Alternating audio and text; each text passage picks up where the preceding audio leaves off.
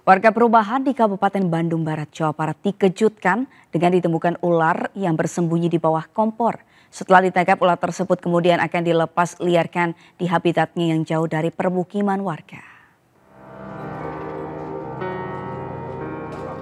Petugas pemadam kebakaran Kabupaten Bandung Barat mengevakuasi seekor ular sawo kopi yang bersembunyi di bawah kompor gas.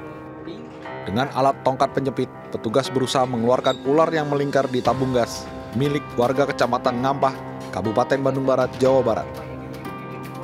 Tidak butuh lama, petugas pun akhirnya dapat mengevakuasi ular.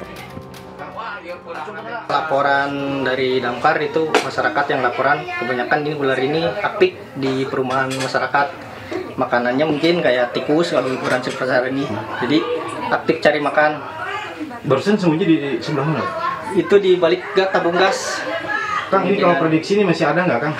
Atau mau disisir mungkin sebetulnya? kita sisir kembali, Pak. Kita apa eh, cek lagi. Takutnya mungkin ada yang lain. Setelah ditangkapnya ular tersebut, kemudian akan dilepas liarkan di habitatnya. Dari Bandung, Jawa Barat, Yuwono Wahyu, iNews melaporkan.